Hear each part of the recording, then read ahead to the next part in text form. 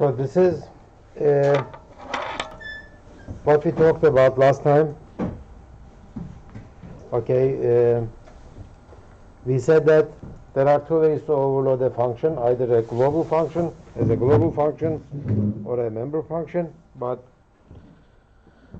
we said that in object-oriented programming we don't like we don't like uh, global functions much, so we prefer uh, the member function overload of the operators. Uh, but in reality, unfortunately, we have to choose global global uh, operator overloading for some of the for some of the uh, operator overloading tasks, and uh, uh, we are going to talk about that uh, today. Under what conditions we will have to use the we will have to use the global functions. Okay, so we I looked at the I looked at the actually the sample program that overloaded uh, these one, two, three, four uh, functions as a member function as constant functions. Okay, no problem with this. Let's go back to the slides and let's continue. And uh, we said that there are some special functions. Uh, it, I mean, it's not special, but all the operators are special and they have their own rules, etc. If you like to overload this function application operator, okay, uh, such that okay, you like to let's say this is my class name, this is my object, so this is like money and M1. Then you like to make a you like to use this operator with this parameter, okay. So it could be it could be useful for some cases. For our money class, it doesn't make much sense. Okay, I mean, what does that mean? If, if M1 is a money object, what does that mean? M1 2 doesn't mean much. Okay. Of course, I can overload it. I can print hello world in it. Doesn't mean much. Uh, It would be nonsense. It wouldn't be useful. So for the money class, maybe I shouldn't overload this, but if I have a string, if I have a string, okay, let's say it's a string one and it's, it is, it is initialized as, it is initialized as, okay, A, B, C, D, and string. And I think it would make sense to say things like, starting from the second element, give me three characters. Okay. cout. So it would be element number 0, 1, 2, and unfortunately I don't have that many characters. Let's start. Okay. Starting from the second character, give me uh, just one character. So it's going to give me uh, which one? Uh, C, right? It's going to give me C. Okay, so I will print out C on the screen. So it makes sense for the string. And in fact, maybe for the standard STL string, maybe I'm not sure about that, but uh, C STL string.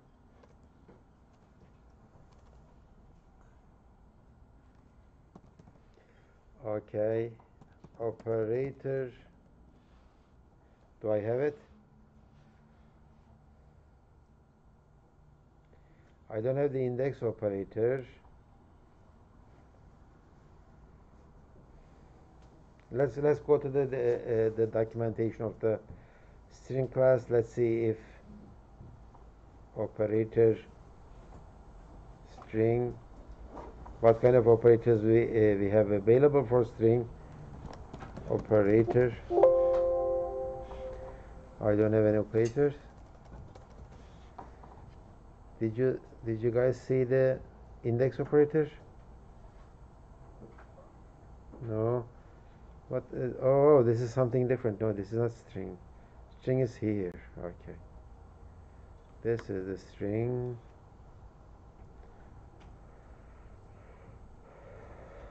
What is going on? Why am I keep getting this? Okay, this is my string and inside the string I don't see my regular stuff is it because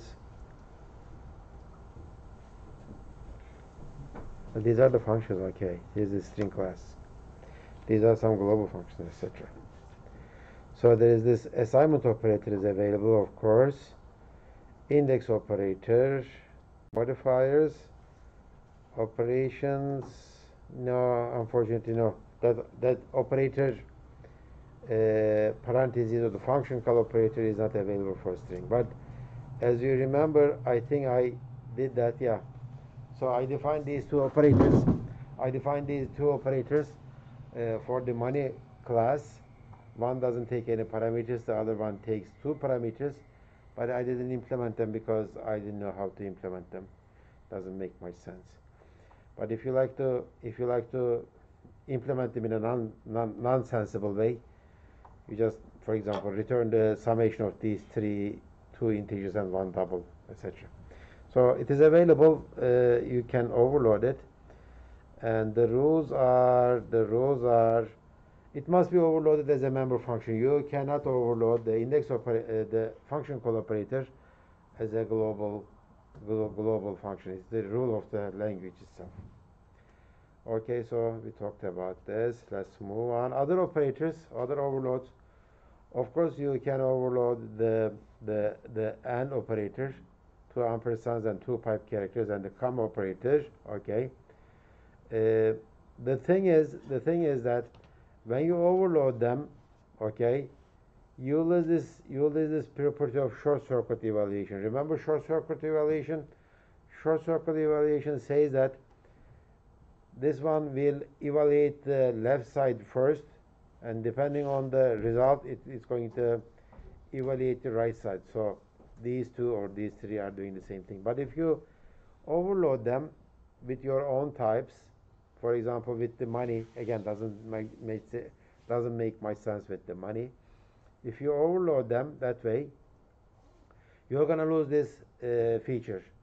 Short circuit evaluation will not be short circuit evaluation will not be there at all. Okay, because I mean when you overload, remember when we overloaded the plus operator, it didn't return any integers or any doubles. It returned it returned our money objects, right? So if you overload this one, it doesn't have to return a boolean. What was the rule for this operator uh, as a logical operator? If the return value is true, then I evaluate the right side, right? So it depends that short circuit behavior depends on the returned boolean uh, type value. Now when I overload it, I don't have to return a boolean. So what, how does the short circuit evaluation work in that case? So that short circuit evaluation goes away and that doesn't work anymore. But generally, as I said before many times, okay, I mean, usually we don't touch these kind of operators in overloading. They are very specific operators. The, the, the most common operator to overload is which one? Which one do you think is the most common to overload? Assignment. Assignment usually if you need to, yeah, that's true. But usually these are the operators that you overload most of the time. Stream insertion and ex extraction, because I mean for input output they will be they will be necessary. Also the assignment operator yes plus minus yeah that that kind of makes sense but i mean usually uh, i mean for uh, plus and minus to work you need some numerical value or some kind of a string to add two strings together. Other than that they will not make much uh, sense. So and very rare operator like this one or that one or, or the function call operator they are they are they are really overloaded. Okay so uh, we said that for some reason whatever we do okay we we won't be able to escape from using the global functions uh, global overloads function overloads. And one problem with the global function overloads is that even though I like to make them my member functions, I cannot. Okay. Remember what was the example that I gave you last time? I told you that in this case there is no way that you can overload that function as a member function. You have to use uh, you have to use global functions. What was the example?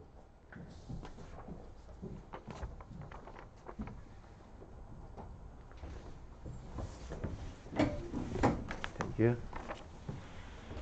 Do, do you remember yesterday?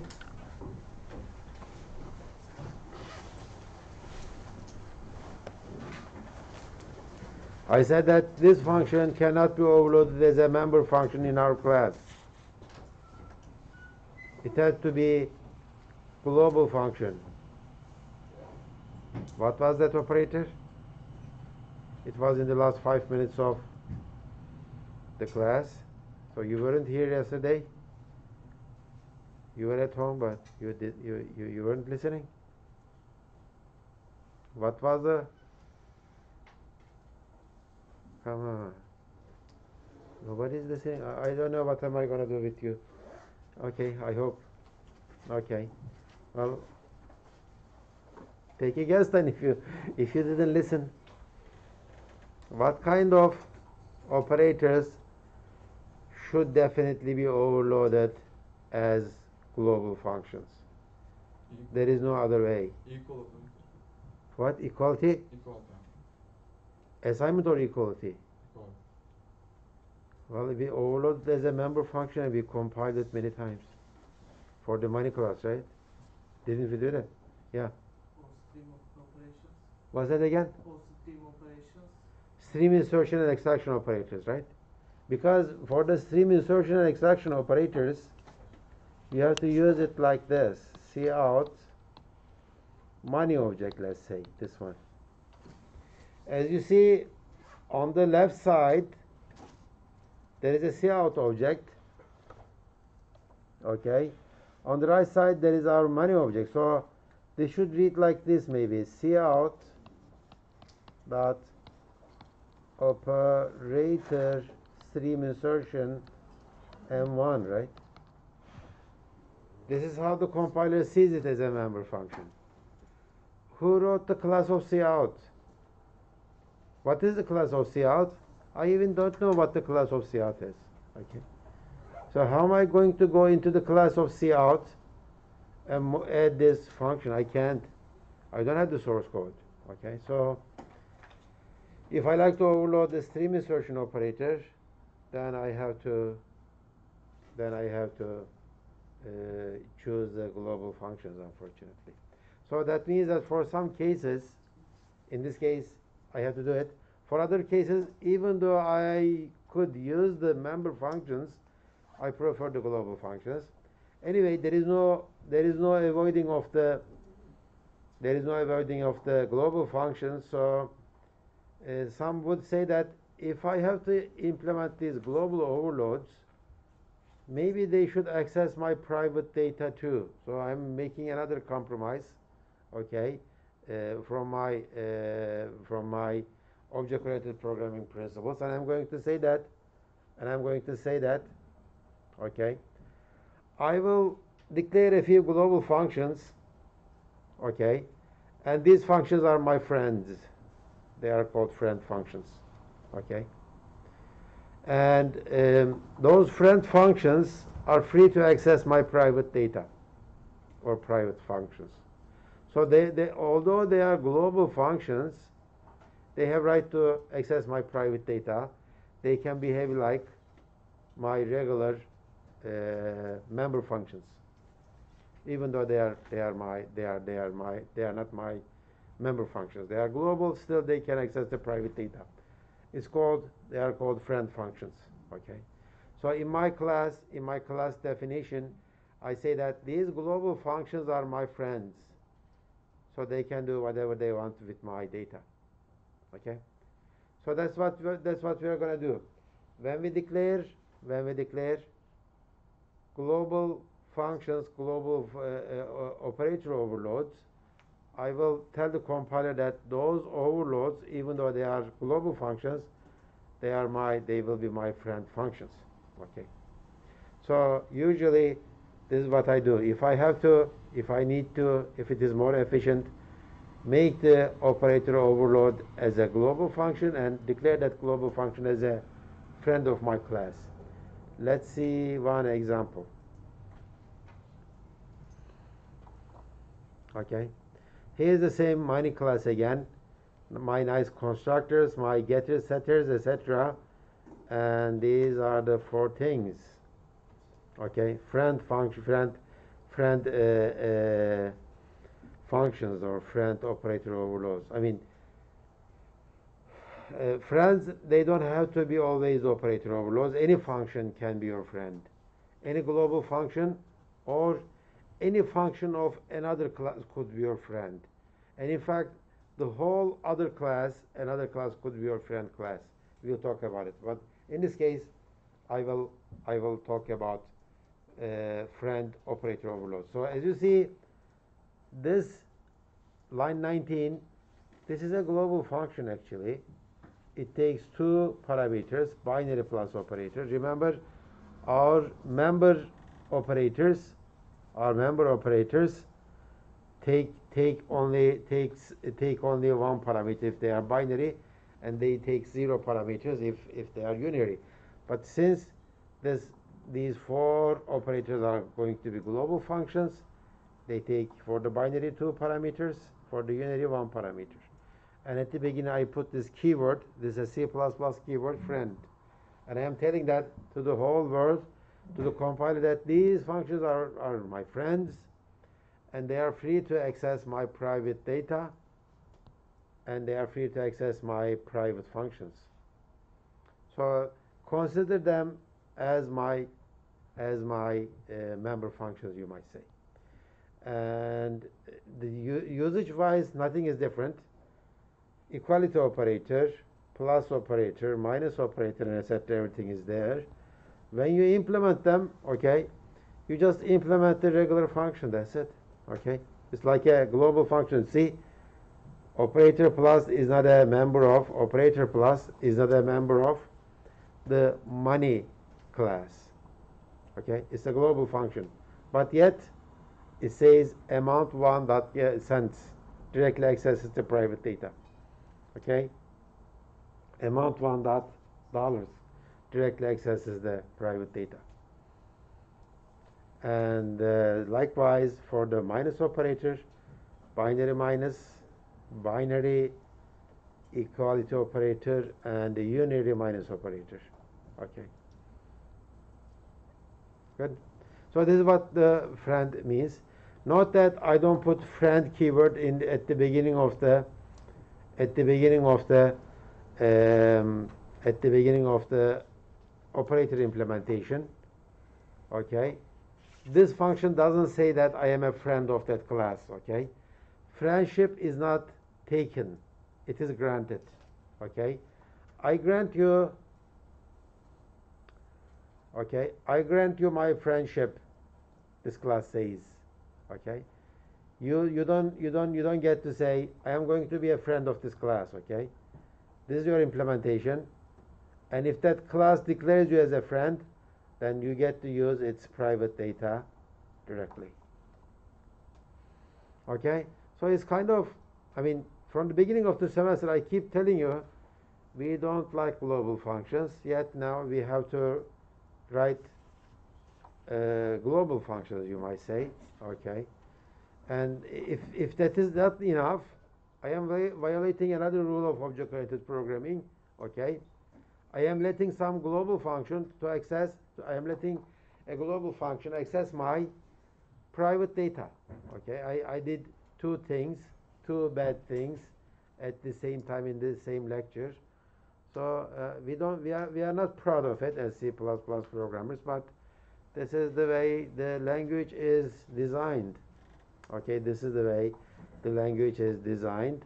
There is no way around it, and and from the beginning actually, we had to have at least one global function, like the main function. If we didn't have the main function, what would happen? We wouldn't be compatible with the C programming language, right? we wouldn't be, we wouldn't be compa uh, uh, compatible with it. Uh, so we have to have at least one global function. We are talking about some other global functions. If we are doing the operator overloading, at least for the stream insertion and extraction, okay, stream insertion and extraction.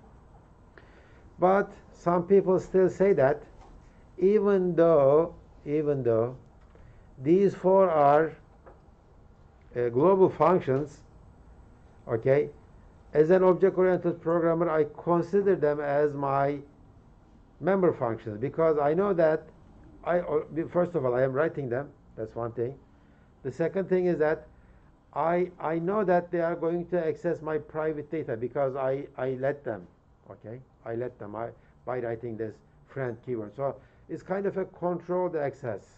It's like a controlled access of the uh, private data from the global functions. So it is not like anybody can access my private data.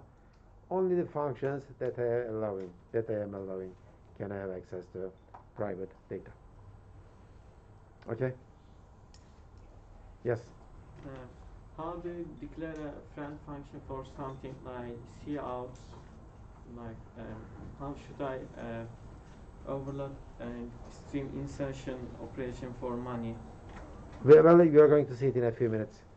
We are going to look at it. Okay, stream insertion and extraction, we are going to see how we are overloading it. I mean, it, there is nothing magical about it. It's just the types and etc. But it, it cannot be our members. They cannot be our members. These pluses and minuses, they can be our members. This was just an example. But the stream insertion extraction, they cannot be. Yes? Can same function uh, be friends of different classes? Yeah, the same function can be friend of many different classes. All you need to do is you need to declare that global function as a friend in many of those classes. Okay. If I have a class A and class B, both of them could say that this function f is my friend. And in fact, as I said before, you may declare a member function of another class as your friend. Okay? A member function of another class as your friend. Or you may declare a whole other class as your friend. Okay, let's go back to the slides. We looked at this one. Okay, non-member functions. Um, so it says that best to make non-member operator overload friends so that uh, they can have access to the private data and etc. And that, that, that way you are kind of saying that I know what I am doing. This is a global function. It looks like a global function, but I will think it as a member function okay I will take it as a member function I will grant uh, I will grant private data access privileges to that function. That's what we are saying. Okay friend function of a class as a not as another member function has direct access to the private members. Okay use the keyword friend in front of it. Again they are not member function but they can behave like member functions. Okay so um, in operator overloads we use friends. Other than the operator overloads don't use friends. Okay be very specific about using be very careful about cautious about using friend uh, functions okay use it if you have to okay if there are no other way going around it then you need to use friends and I think operator overloading is, might be the only case you need to use friends other than the other than that if you keep using if you make everybody your friend, okay, there is no information hiding then, right? Okay? Information hiding is important. Don't let anybody access your uh, private data. That would be bad. So if you make everybody your friend, uh, if you make everybody your friend, then there is no information hiding. Okay?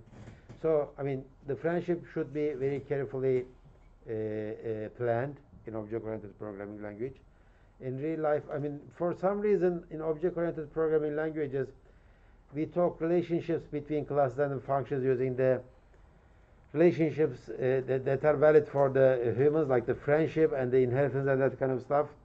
The friendship between two persons is very different than friendship between two uh, classes, one class, one function, etc.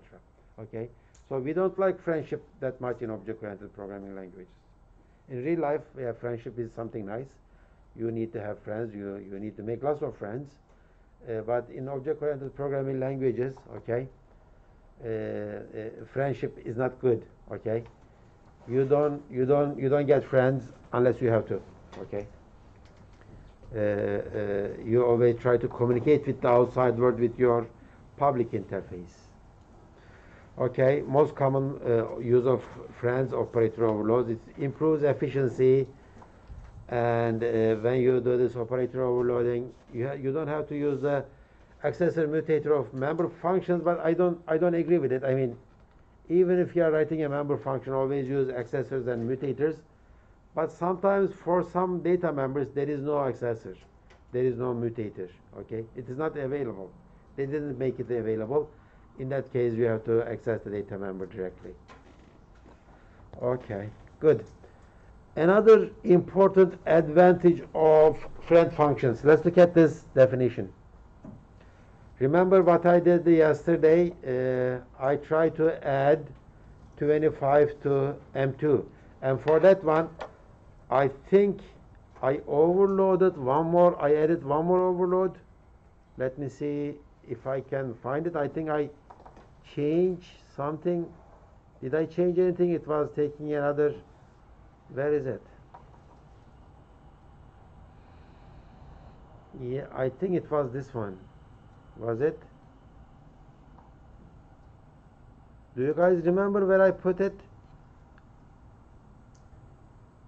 This is I uh, but did I did I implement it using the slides? Anyway, can I compile this one? Let let me try to compile this one. I hope I didn't change many things about it. Let me try to compile this one. Compile. I hope it compiles, but uh, where should I where should I see my output? The window? Not that one. Tools, compiler options. Not that one. Is it in execute? I like to see the results of view maybe, yeah.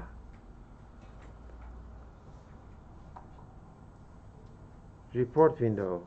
I guess it is report window. Yeah. Did it? Yeah, it compiled, right?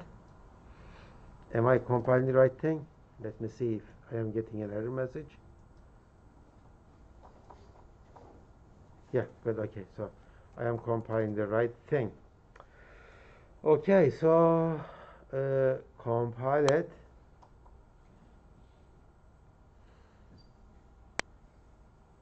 Good. So I am going to write this one. Money um, M1 comma M2 comma M3 let's give some numbers to them. Get rid of this thing okay. This is 10 and let's make this ten dollars and twenty cents. And I have three money objects. Can I still compile it I wanna be make okay compile it okay so M1 gets the value of M2 plus 1 okay so I am going to add an integer to M1 M2 okay?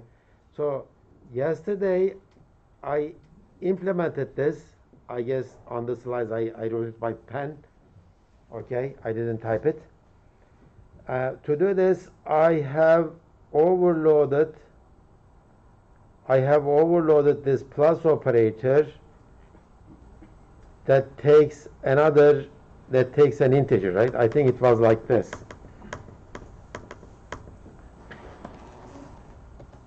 So I overloaded this like this one will take an integer, right? This is what I did yesterday.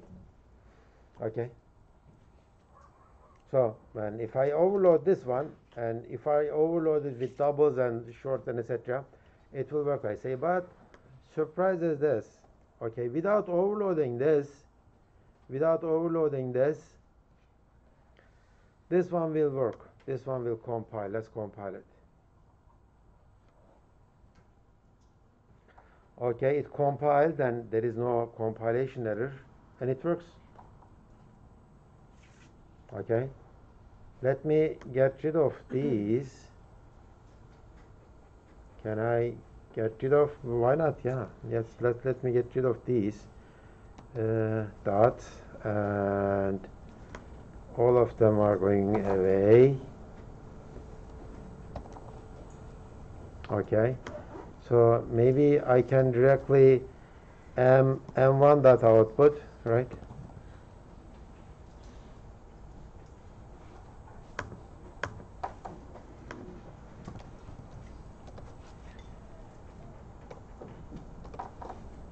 Okay and I can compile and I can run.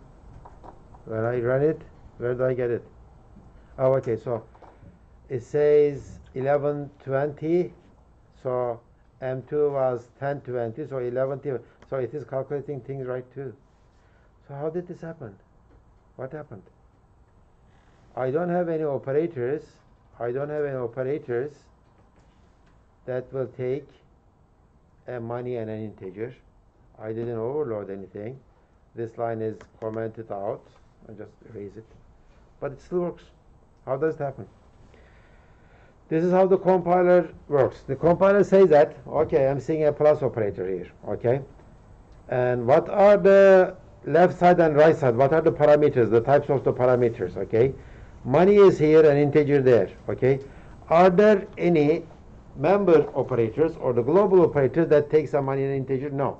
Okay. But can I make, can I make, okay, there is a plus operator available here, but it takes two money objects, okay, two money objects. And it is inside the money class, okay. So the left side is money, right side is not money. Can I make a money out of an integer? Compiler says, yes, I can. How? It is here, okay, line 13 there is a constructor okay there is a constructor that takes an integer and it takes a, it makes a money out of it. Okay that takes a that takes an integer and it makes a money out of it. So the compiler automatically will use this constructor. See it's a conversion constructor okay?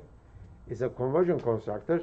İt will take this uh, integer, it will feed it to this conversion constructor, it will make a money object out of it, and then it will use the plus operator available. Okay? So it is possible to write this, and it is possible to write this too. Okay?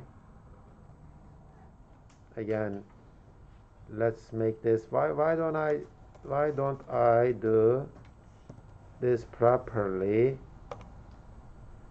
And yeah. Yes. That output. Yeah mm -hmm. so this one will print again uh, uh, 10 11 20 this one. And this one will do 1140 right? So both of them will work. Let me compile this one. The second one works because I have another constructor that takes a double, right? So that constructor, I mean, I have written it, I have written it, so it is because it was convenient to write such constructors, okay? A constructor that takes an integer, okay? Because I like to build the money out of an integer, and I like to build money out of a double. But the compiler is smart enough to use these kind of single parameter constructors. These are single parameter constructors as as conversion constructors. Compiler does that. Okay, so I don't have to overload this plus operator for uh, all kinds of uh, all kinds of uh, uh, different types where the plus makes kind of sense. So because plus makes kind of sense in this case, I am adding money with an integer or uh, adding money with a double. So I have already the integer here and double there. So the constructor is using those. Okay if you don't like behavior and if you if you think that this is sneaky, I mean, I didn't write this constructor to be used as a conversion constructor. You would say that this is not a conversion constructor. If you are going to use this constructor, use it use it explicitly. Okay.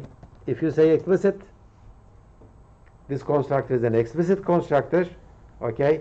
It will not be used automatically for, to convert something to convert. Uh, it will not be automatically used for conversion from one element to one data type to another type. So this, the one that takes the double, okay, will not work now. I will get an error message here. Let me compile it. When I compile it, what happened 120? Didn't I save it? This is money double. Is it okay? Okay. Explicit. Okay, save it and compile it. So I say that many error messages, like how many, how many of them I don't know.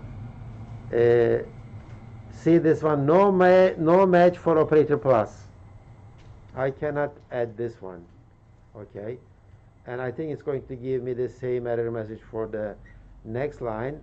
But previously, what happened if I, if I, if I erase this explicit here, I would expect to get an error message for one of them, not, not but, but not for the others.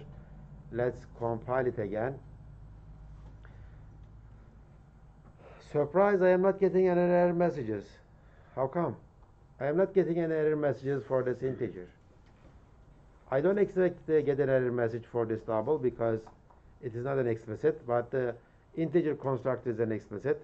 How come I am not getting an error message for line 49?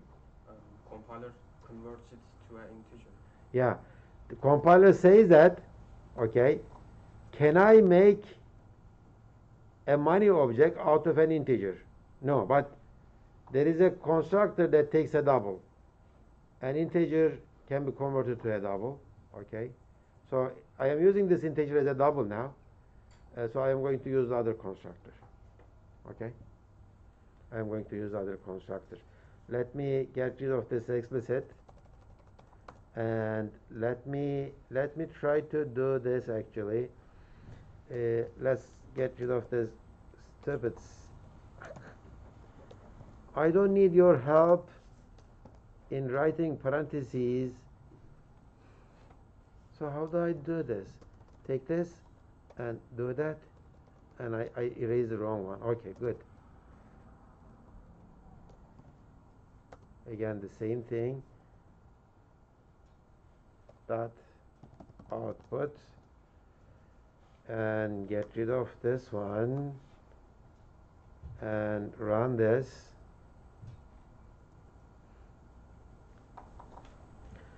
so it will say 1120 and 1120 both of them are 1120 how come how come this is oh because this is m1 get rid of this one this is 120 and 120.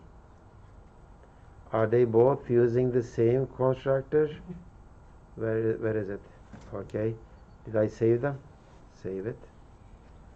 And uh, this is, let's say, 80. Okay, so compiler might be using the same overload. The, the, the point is not that I am going to compile them at the same time. So it is not compiled, just run. I did not compile it. Yes. Okay, I thought when you run it, it compiles and runs. Okay, compiled it. Now run it. Okay, 1120 and okay, 90, 40. So double const int const. What what are these coming? Where are these coming from? These are coming from. These are coming from. Okay, um, this is this is from the. This is from the constructor that takes an integer. Okay, so. Okay, the constructor that takes the constructor that takes an integer uh, constant, okay, and the constructor that takes a double, okay. So I print, I put these uh, print out statements so that I can see which constructor is being called. And in this case, it says, let me run it again. Let me run it again. Should I make them a little bit more readable by putting this, if I can find, where is my, okay, this is backslash n, and this is backslash n, right? Okay, so let's compile and let's run.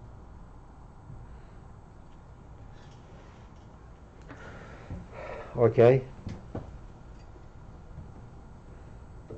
Double. Oh, okay, so I have double constructor, integer constructor, and double constructor. So which one is coming from where? Let's go to the code. Okay, let's go to the code. Code is main. Okay. So this one is a double constructor. Again, this one is two two constructor that takes. Why don't I get rid of this one and make it okay. M3 this is m3 and m3 so I will get two messages then like uh, there is a there is a you guys are tell, not telling me. There is a compile and run option there. Okay. So this integer constructor is called because I am doing this okay? This integer constructor comes from line 49 and this double constructor here comes from line 50 okay? It comes from line 50 good so uh, this one works. But but let's look at okay let me show you this one. Let me show you this one and maybe I will just leave you with this. During the break. Is this going to compile? Line 50 Yes, it will come.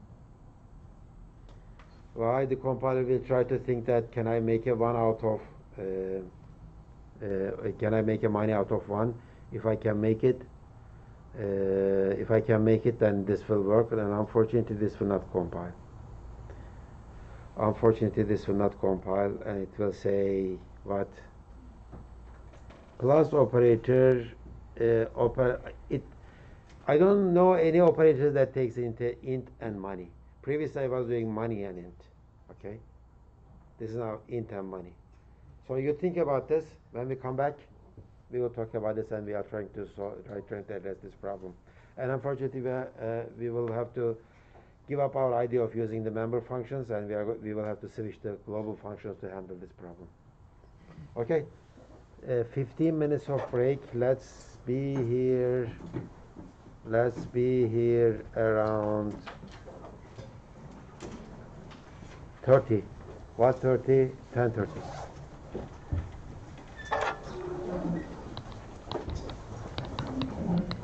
Hocam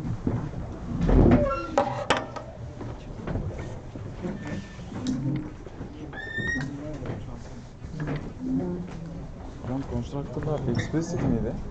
efendim Orada constructor'lar, constructor'lar explicit miydi? Explicit olsa kompal etmezdi ki bu. Değil. Explicit olsa da kompal etmezdi. Ya biz aynısını explicit olmadan yapmamış mıydık ben? Sanki öyle anladım da. 1 artı 25'i mesela 1 artı envanı bir şeye atıyorduk. Orada yapıyordu. Öyle bir şey yapmadık hiç. 1 artı yapmadık. M artı 1 yaptık. Özellikle dikkat ettim ben buna. M artı 1'di. 1 artı M değildi.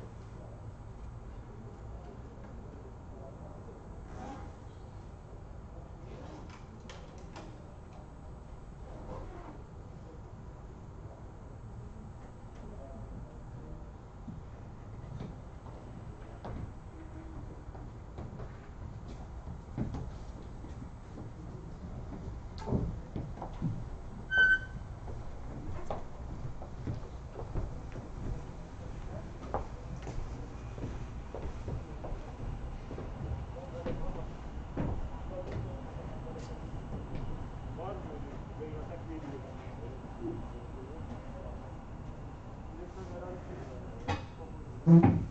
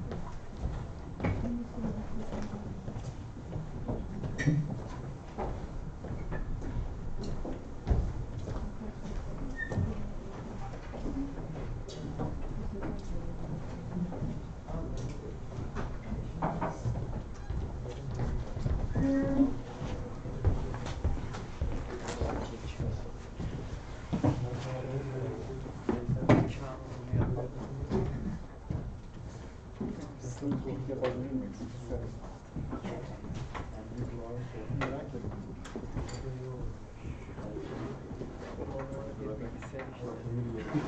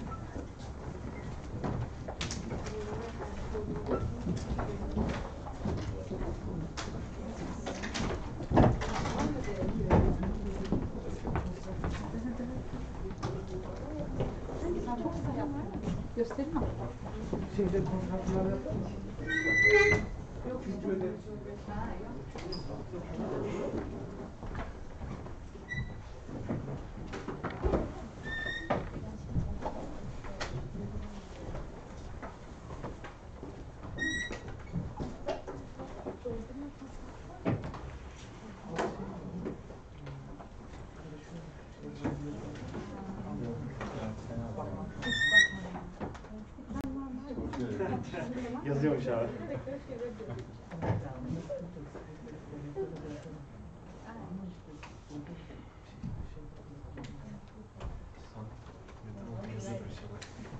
Neden olduğu yazıyordur inşallah. Ötekileri de bununla alakalı.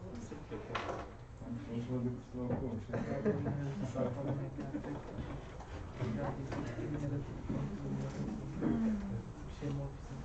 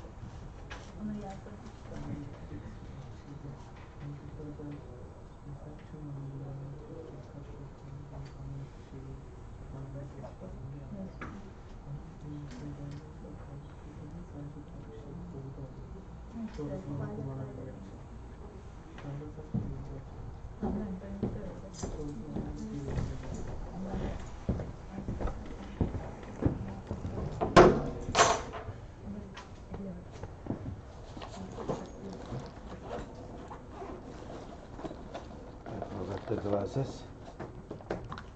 You know how many glasses I carry? Four, five? Four or five, yeah.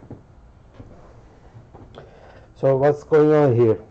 So let's see the code again. When the compiler sees this one, it says that M3 is a money object. So let me go to the money class. Are there any are there any functions that takes a money and a plus operator? Yeah, it, here it is. Okay, uh, but unfortunately, the second side, the left side, the right side has to be a money object again. this is an integer. Can I make uh, money out of an integer? Yes, it is here. It works. But when the compiler sees this one, this is an integer class, I don't see any global function that takes an integer and a, a money object. If I go to the integer class, I don't see any uh, plus operator, member plus operator inside the integer class that uh, that takes a money, or there are no integer constructor that changes that that that converts a that converts a money to an integer. So this will not work. Okay. So unfortunately, for this to work, I need to have I need to have a global plus operator that will take two money objects. Okay with this global uh, operator with two objects okay uh, uh, the compiler will try to convert either this one or that one to the to the uh, uh, to the money objects. Let's go to the friend dev. Okay here here they are the friend ones right?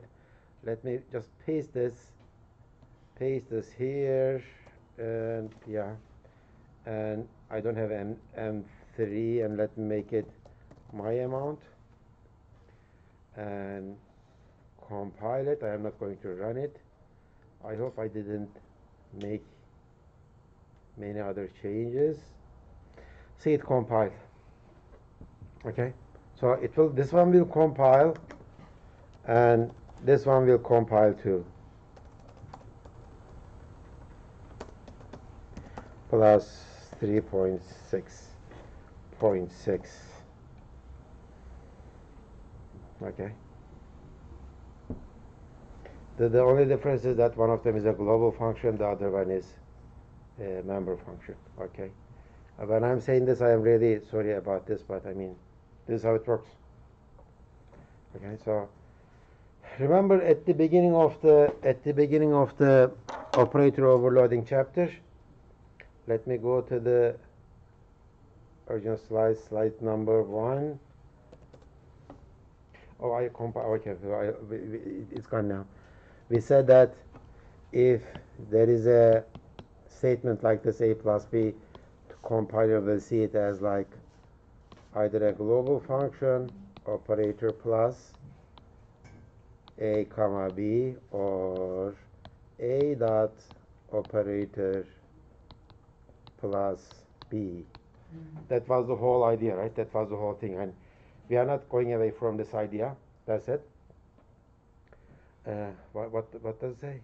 My, can you guys hear me? Okay. Uh, yes, sir. So uh, my voice is breaking up, or the, there is a problem with the synchronization? No, right?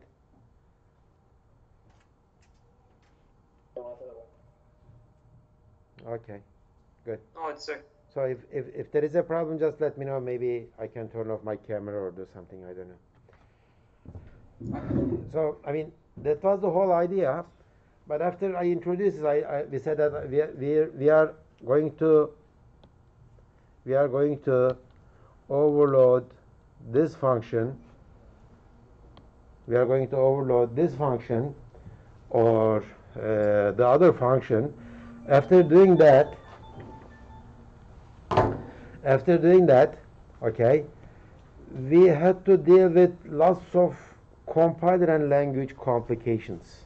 Okay, knowing something, knowing the theory is something, and doing it in practice is something else. Okay, and if you are not good at both of them, both theory and uh, practice, nobody will pay you anything. Okay, I mean, if you if you know the theory very well, nobody is going to pay you. Your boss will not pay you this this engineer knows lots of object-oriented stuff, very good theory. And I said, no. If you are good at the practice only, if you don't know what you are doing, okay, they will pay you only small amounts of money because you don't know what you are doing. Actually, you are just like a blue-collared uh, worker. Okay, you are doing whatever you are told. You cannot design. You cannot think uh, about the bigger picture. You you you don't know where you are going. Actually, people are telling you something, and you're doing programming and that's what what it what it would be. But if you know both of both of them, what object-oriented programming is, what is it, what is it good for, and how to how to how to code using those uh, principles, then you you become uh, valuable, and you can build on top of it. I am not saying that once you know both of them, what object-oriented programming are, you are a good programming, you are done. I am not saying that, okay? You are just second year students here, right? And you will have to take this software engineering course, programming languages course. You don't know how to design algorithms yet. You don't know how to analyze algorithms yet. You can build on top of it. If you don't know the theory of these kind of stuff, you just become uh, maybe a, a nice programmer, and that, that would be that would be it. Uh, th- that doesn't mean that you wouldn't find any jobs. Yes, yeah, yes, you would, but there is a there is a potential barrier you cannot you cannot uh, uh, move above, and that would be a kind of waste of career actually. So uh, be careful about both sides. Try to understand what we are trying to tell you here. Like the like the like the this guy is funny. Where is this? Let me find it. He is very he is very where is it where is it i, I couldn't find it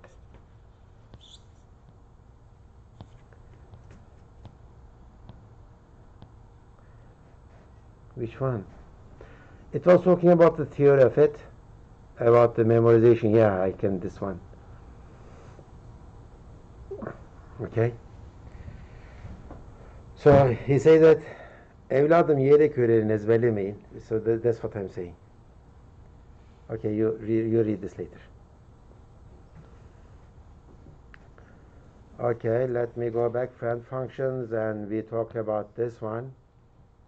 So we need friends unfortunately both for sometimes we have to stream insertion extraction and sometimes it is good for it is good for uh, making this kind of code compile and making this kind of code compile.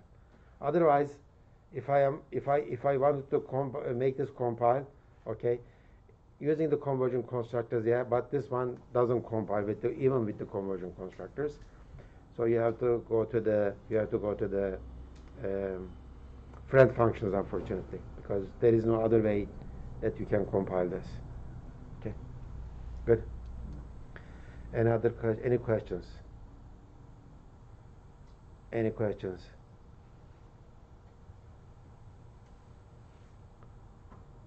How many people have pens with them? How many? One, two. Half of you? Okay. The, one of the nicest things about this COVID th- thing is that people forget about their pens and pencils. Now we have much cleaner desks. Nobody's writing on the desks anymore, or the walls. So these are the positive stuff. Okay? No, no questions? Okay, I'll move on. I feel weird. I mean, when I'm talking to you, I am making a joke here. Nobody is laughing. Okay, I will. I will go on. So, friends, we don't like friends in C++. That's that's that's that's that's the that's the way to put it. Okay. Unfortunately, you will say we don't like friends because they are against the rules of object-oriented programming. Okay. In real life, we like we like friends a lot. Uh, as human beings, we like friends. But in, in, in C++, we don't like friends. Don't use them unless you have to. And I showed you two cases where you need to use the friends. Stream insertion and that kind of uh, uh, 25 plus money kind of stuff, okay? Sometimes it, is, it has advantages for operators, okay? Automatic type conversion with friends makes lots of uh, statements possible, okay? Sometimes it improves efficiency and sometimes for the classes that we don't own okay we have to use we have to use friends so that's that's it okay? As i said before uh, uh, classes can be friends. Class f is a friend of class c you could say that and this is how you do it actually. Okay this is my class definition class c. Class c says that there is a class named f there is a class named f it's my friend okay? And then I declare my class F here.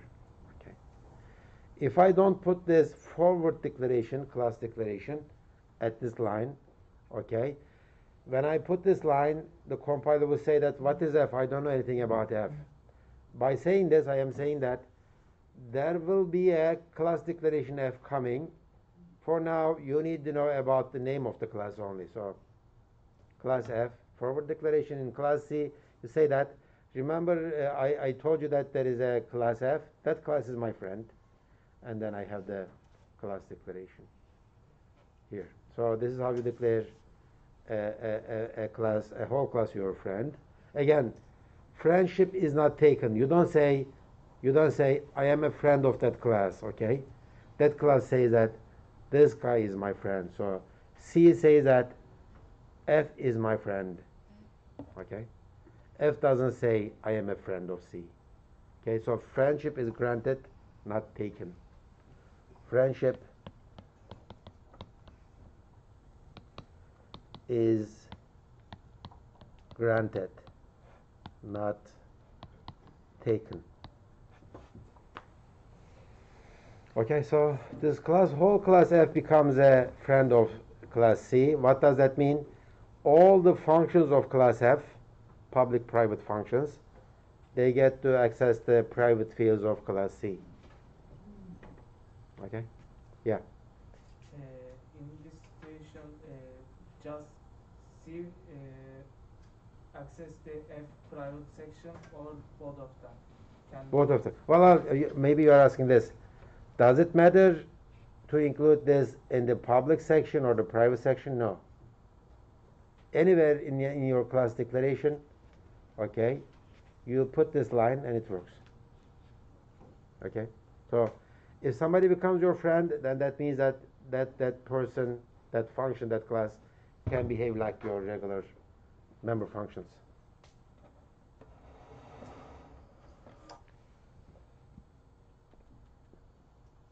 Uh, you, anybody has any questions from the online audience?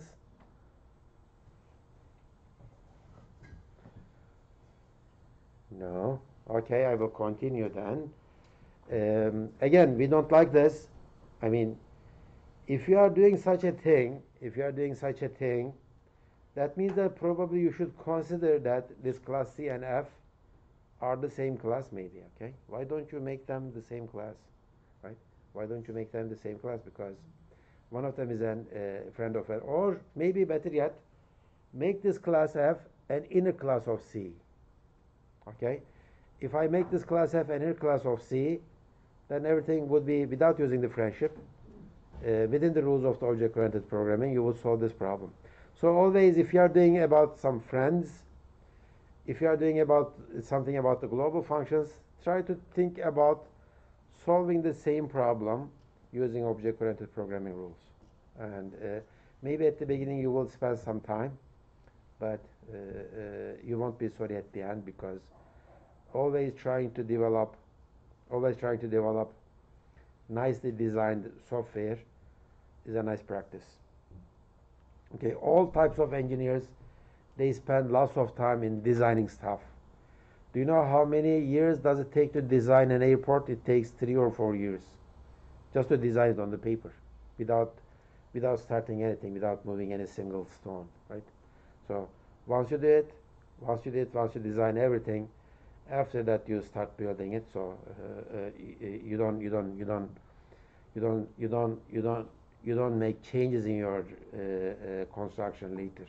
Okay, you you design it right. So with the software we try to do the same thing, but to understand if the ideas work, we write small programs. Once once we write small programs, prototypes. Once you understand how the things work, we we rewrite the whole thing again uh, with our uh, uh, new with our new experience that we get from the prototype code. Okay. So some people just write the prototype code and that's it. That that would be a wrong thing. Yeah. I can access uh, member of function f in C with that way. Uh, can I access member of function C in class F without uh, friend class C in class V? Well, again, friendship is not symmetric. Okay, it is granted, not taken. F is a friend of C. C is not a friend of F. Okay, if you like to make C friend of F, then inside here you need to say C is my friend. Okay. uh, we say F is friend of C and uh, what if we wanna hide from uh, C some part of your class. Yeah, yeah, yes. What kind of uh, part you are going to hide? Private part? Uh, private If you are going to hide the private part, then uh, F becomes just another class then, right? Because nobody has access to your private part. Public part is accessible for everybody.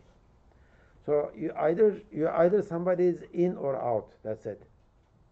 There are no levels of access privileges in C++ or in object-oriented programming language. There is a small exception for that when we come to the inheritance, but no, I mean that's not a good idea. I mean, it seems like a good idea. Why don't we have access levels? I mean, access level number uh, level one, two, two, three, etc. Well, that idea doesn't fly. That doesn't work. Okay, that makes it very complicated to think, to design, to implement stuff. So there are two access levels: public and private. That's it for the outside world. Okay, some rules for the operator overloading. Okay, I showed you this yesterday. Okay, so you have to memorize this. If you are overloading global function or the member function, one of the parameters should definitely be a non-fundamental type. Uh, you cannot overload. You cannot overload uh, operator plus int and int. You are saying that I am going to overload the plus operators for the integers, right? No, this is wrong. You can't do that. Okay. What does the rule say? Say that one of the one of the parameters, okay, should be should be non-fundamental type. It should be money or bank account or grade book or string or whatever. Okay. You can't you cannot overload. You cannot change the meaning of the plus operators for the integers or the doubles or the characters. Okay? So that's one of the rules.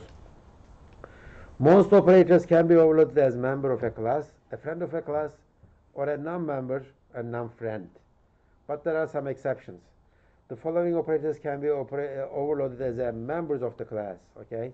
Assignment operator, index operator, arrow operator, and function call operator. These four have to be implemented as a member function, have to be overloaded as a member function. Okay? Another rule, okay? You cannot create a new operator.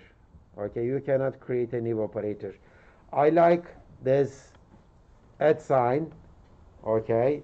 So I that that would be very nice if I have two many objects and I am going to overload this at sign so that this makes a new operator. No, you cannot. Okay. If the operator is available in C, C++, then overload it. If it is not available, you don't invent, you don't introduce a new operator. This is not operator definition. This is operator overloading. Okay. That operator has to be there. You you give a new meaning to it. Okay. And the other thing is that other thing is that this is not possible. Other thing is that you cannot change the number of arguments that an operator takes. Okay? Plus is a binary and unary. That's why you will say money one money one plus money two or plus money two. Why? Because plus can be both unary and binary. Okay? Unary and binary. Uh, you could say money 1 times money 2 you could say money 2 you could say that right? Is that true? Star money 2 because star can be a binary and unary remember? We use star as a dereferencing operator right? Um, you could do m1 over m2 but you cannot do slash m2 because slash has to be a slash has to be a uh, this one slash has to be a binary operator. There is no unary slash right? So you cannot change the number of arguments. And uh, on top of it you cannot change their precedence. Plus is always done after multiplication star okay?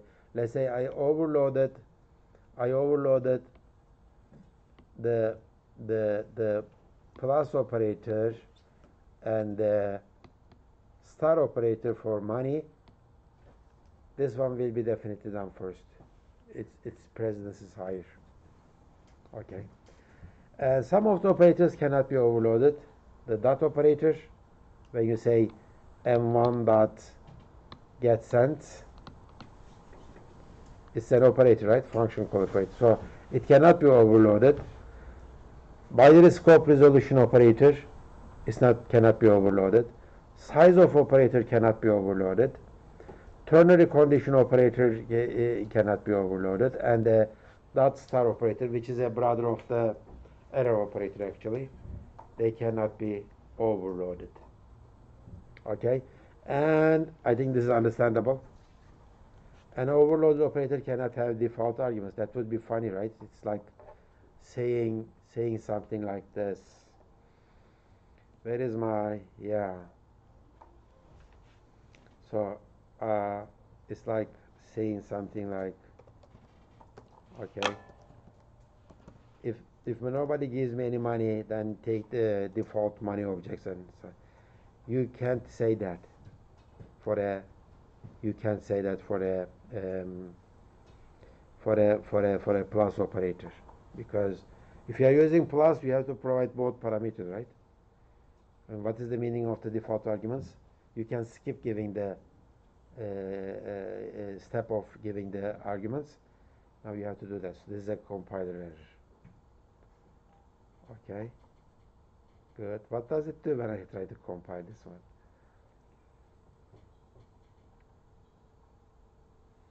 Why am I getting so many errors? It says that, yeah, operator plus cannot have default arguments. Well, exactly what the book says. Nothing interesting. Where did it go? Oh, okay, good. My parentheses, my parentheses. Good. Uh, what else? Yeah, that's it, I guess. There will be there will be some other there will be some other rules again at the end of this lecture uh, at the end of this chapter and we are going to see it there okay? So read the book operator overloading book uh, carefully very carefully. Although this whole operator overloading again I am now I am telling it maybe the seventh time okay? It's all about this just this one okay there are many details and those details are important. Important because without knowing those details you cannot write proper oper operator overloading code. Also those details are important uh, because you get to understand C++ or object-oriented programming better. Okay? We, I mean I'm, I, I've been talking about object-oriented privates and public and friends and their advantages disadvantages etc so that's why we like talking about operator overloading. So let's go back to references a little bit. We talked about the references. We use the references for the call by reference type of function calling. And uh, I think somebody asked about this. Can we use the references in other places? Yes, the answer is yes. Other than the function calling, uh, you could use references like this. Let's say I have a integer named Robert. Okay you could say that I have an integer reference. This will be a reference to this integer Robert. His name is Bob. You know, as you know, the Americans, they use the Robert and Bob uh, to refer to the same person. Robert and Bob mostly uh, is the same name.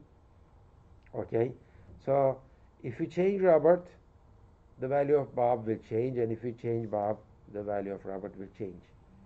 So this is the same idea. So when you make a function call with a reference, okay, your function parameter becomes a reference to your argument, right? So if I have a function int function that takes a, let's say, a double reference d,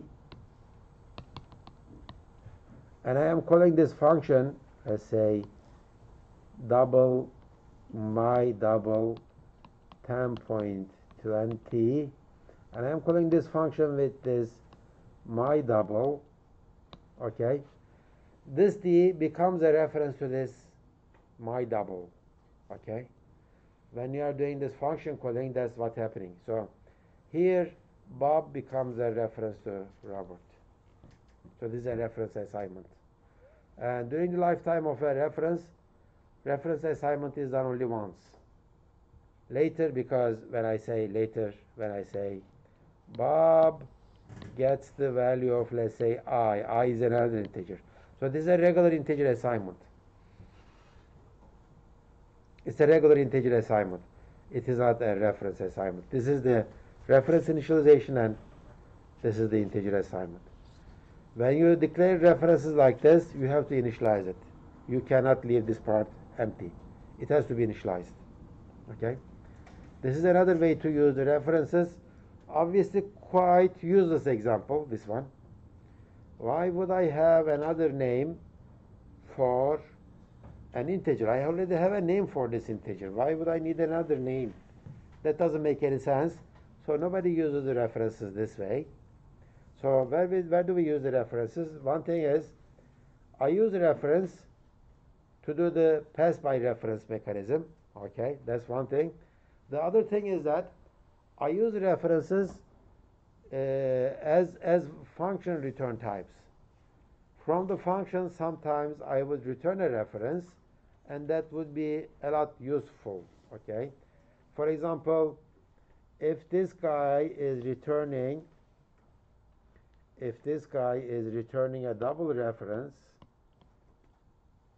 okay? And let me implement this function actually. I am implementing this function as return D. So I took a reference to a double and I am returning uh, D. So but D is returned as a reference. So I am returning a reference to D but D is a reference to my D okay?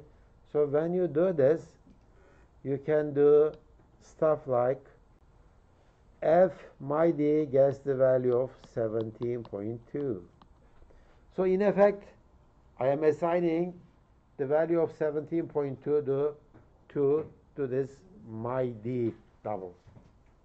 Okay? So I took a reference and I re returned it as a reference. Okay? I returned as a reference and I am doing this assignment.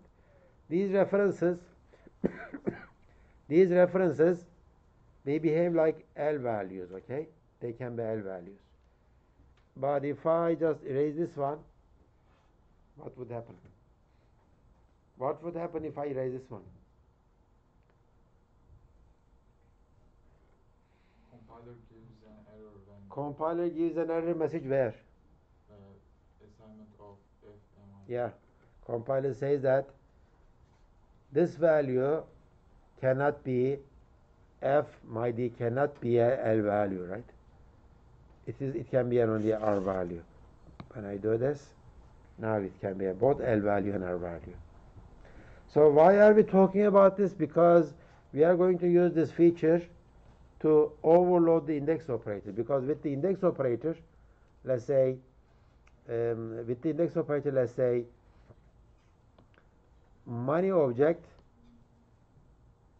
zero. Let's say this is a very stupid implementation overloading of the money index operator. Let's say money zero means it is the dollars part and money one means the cents part, okay?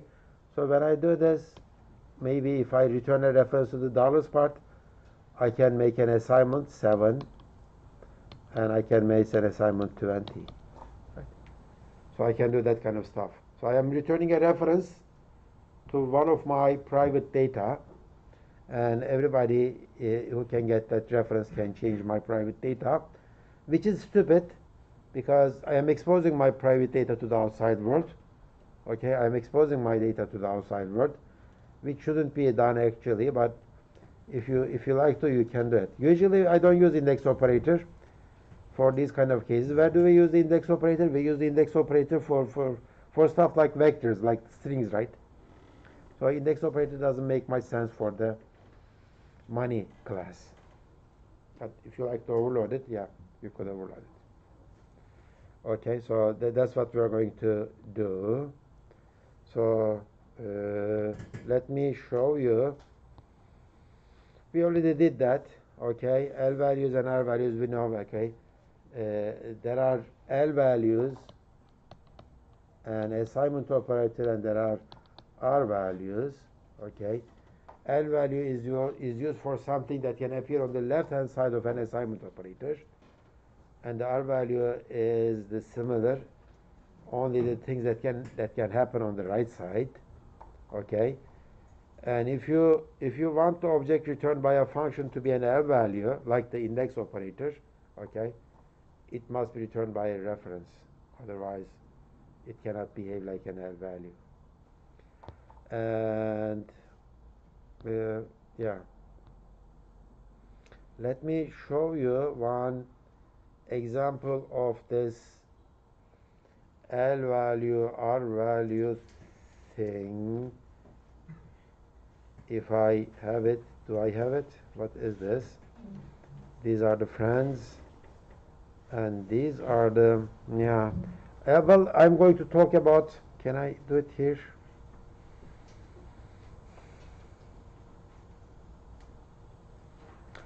These are my yeah, this is good, yes. Let's say I have a class named character pair, very simple class. I have two private data members, first and second. So I am keeping just two characters inside my objects of uh, character pair. So it's like A comma B kind of thing, okay? So no parameter constructor doesn't do anything, doesn't initialize anything. It's a bad constructor because it keeps these these these two data members uninitialized. That's a bad thing. The second one, the second one says that I will get two characters, and I will assign them using the initialization section to the first and second. Okay, and then I have this index operator. See, the index operator, it will take an integer as an index, and it will return a character reference and this is how I'm going to use it. You see, character pair A, A1 is A and A2 is B. And when I print them out, it will be like this, okay? Print A1 and A2. It looks like A1 is going to be first and A2 is going to be second. Okay? And I can change their values. I can change their values the way I want. I can access them the, the way I want okay I can use them in a cin statement, cout statement, whatever you want. You might say that this is pretty dangerous. I mean, I mean, you are letting everybody, you are letting everybody change your private data. That's true. I don't like this, but this is just an example to show you how the index operator works. Usually, for this kind of mechanism, we use the setters, right? And setters have to make sure that whatever I am inputting is uh, valid value. In this case, I guess all kinds of characters are valid for the first and second. That's why maybe I allowed it.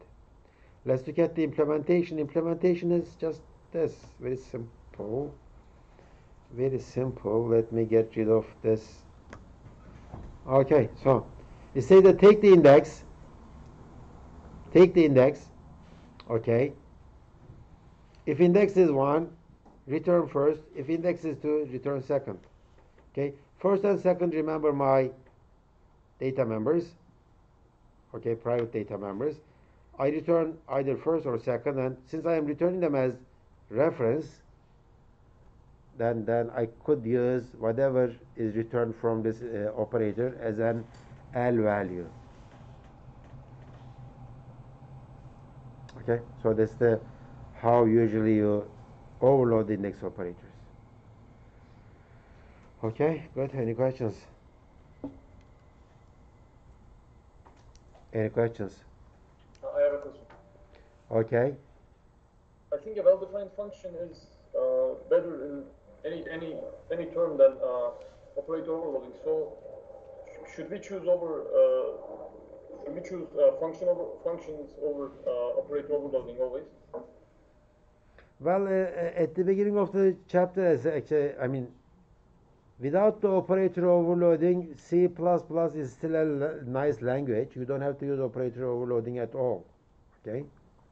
And in fact, they didn't have to they didn't have to they didn't have to make it available for you the plus uh, uh, uh, infix notation like in C. You write this and you immediately understand that it's addition of two integers right? Instead of giving you this they could have defined an operator plus function and it would take two parameters that's it right so I could have done this so you don't need any operators actually. The functions are fine. But writing this kind of code makes your code more readable, readable sometimes. Okay? Should write it this way or that way? It is up to you. Which one is easier for the reader to read your program? You are going to make that decision. Okay? Usually we don't overload that many operators in our code. Maybe 5% of all the functions that you write are operator overloads. Usually we write regular functions. Yeah, that's true. What you are saying is, I, I mean, as long as you are careful about the usage, how the customer feels about it, it makes this job easy, then use it. For example, index operator is very nice for the vectors, but as I, as let's say I have a vector v, okay, and writing this is very convenient. We have been doing this but vector has another function. It is at okay and this is possible too. Okay so it is the exactly the same thing. At behaves a little bit different it does range checking too. I mean if the index is smaller than zero and it is larger than the size it warns you or it, it, it terminates your program etc but you don't have to use any you don't have to use any operators or most of the operators. Functions would have been fine. But I mean people prefer line 32 over line 33 it is easier to uh, it is easier to read line 23 uh, 32 okay did I answer your question Yes, gladly. Okay, so let's go back to this one. And question for you. Should I make this const or not?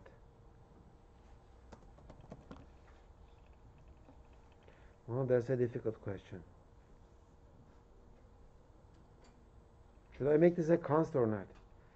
If I make this a well, it looks like I am not changing anything inside this implementation. If I make this a const, if I make this a const, what happens? I am not changing first, I am not changing second, but okay, fill in the part. What is what? What am I? What what what uh, what? Uh, tell me what I am concerned about. If I make this a const, yeah. The reference can change. Uh, Well, if I make the const and if I return a reference to my first, people are going to change it, right? So that's not right. I mean, even though I am not changing anything in my in my in my function, I am letting anybody uh, who has access to this indexing operator change my internal values. And in fact, this will not compile. When I try to compile it, it will say what? Tell me what it says. Where will I get? Uh, okay, you got it. Yeah. It says that you cannot you cannot return a non-const reference from a const function. Okay. What does it say? Invalid initialization of reference type char from expression of type const character. So you are saying that this function is a const, but you are returning first as a non-const. So I have to do this to const. Const. Ah, okay. So let me do the same thing here too. Const. So how about now?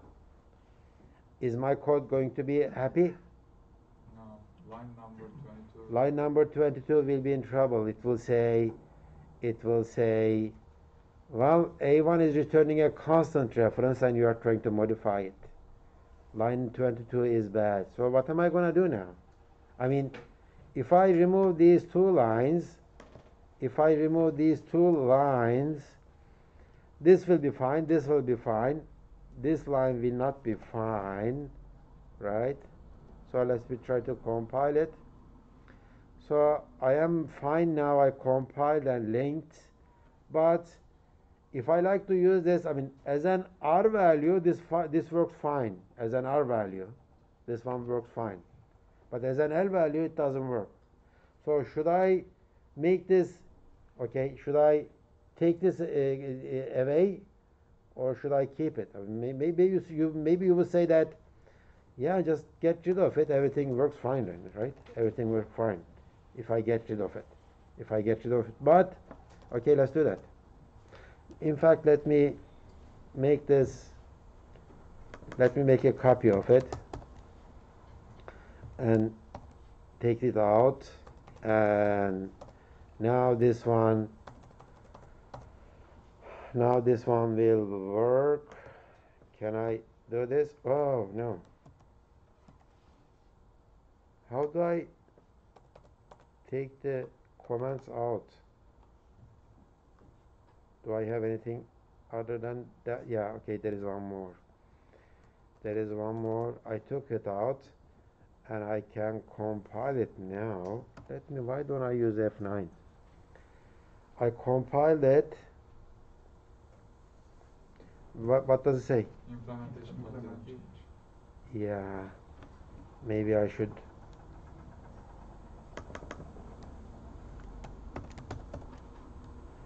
get rid of this one. Get rid of this one. And that. And F9 compile it compiles fine. So you, you might you, you might be saying oh well we are fine. Why are we talking about the constant that kind of stuff? But no this this code has a very serious problem. It is missing something. You might say that if I return a non-const then I could be it could be there's an L value and R value too. But what if I have a const char pair like CP, okay, and its values are oh it works okay Q and R, okay. I have a const CP, okay and I like to print it out like using a one no not a1 cp1 do you think this will compile? No. Why? Cp is a const object. Index operator is a non-const uh, operator. If I try to compile this I will get an error message here. It says that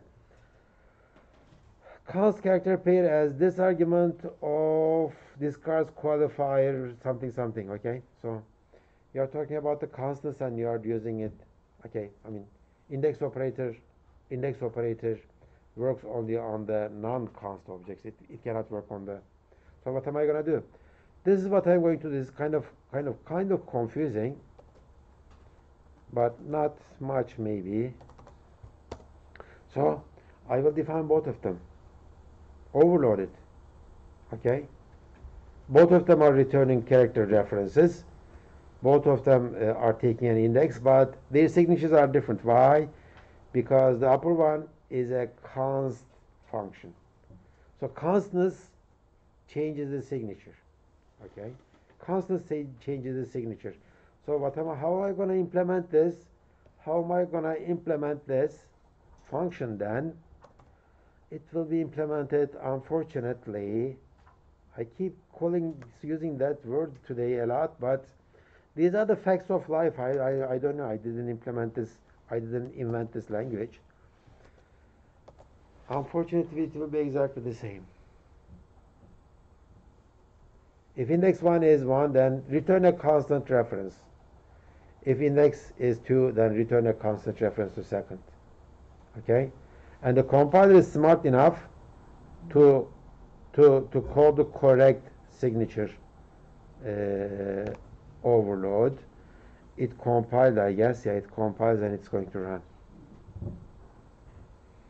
Okay?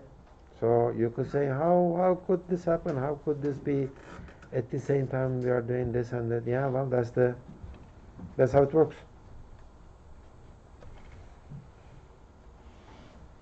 Good? Oh, okay, I'm out of time. Any questions? So this is this is important. I mean, I mean, this index operator, of course, it's an index operator, but I didn't talk about the index operator for the last 10 minutes. I talked about returning a reference from a function and returning a constant reference from a function. The signatures of these two, line 13 and 14, are different. It is not because what they are returning, because remember, return types is not inside the signature of a function. It is only the parameters and the name. So the parameters you might say, well, it is the same thing. uh, They are both integers. No, this one is a constant uh, uh, function. Say that I am not going to modify the object I am taking. And in, in this case, compiler, can I can I run this? Just execute. Compiler on F11. I compile it and run it. So it says QA. What? Oh, okay. QA comes from the QA comes from the first uh, uh, first my printout from the constant object, and the others come from the uh, uh, the, the co code of the book. So this one, maybe I should say, okay, and backslash and here. Okay, and I'm going to do something that will let us see the difference.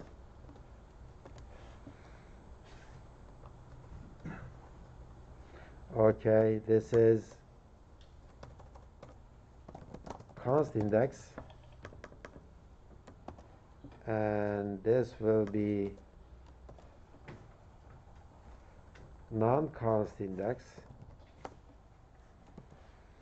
Let's go to this. Okay. Let me copy this and print this a well I don't know what it is going well it's going to print some junk value. Why don't I do this then? Okay. So and get rid of the rest so that I don't see them. Okay F11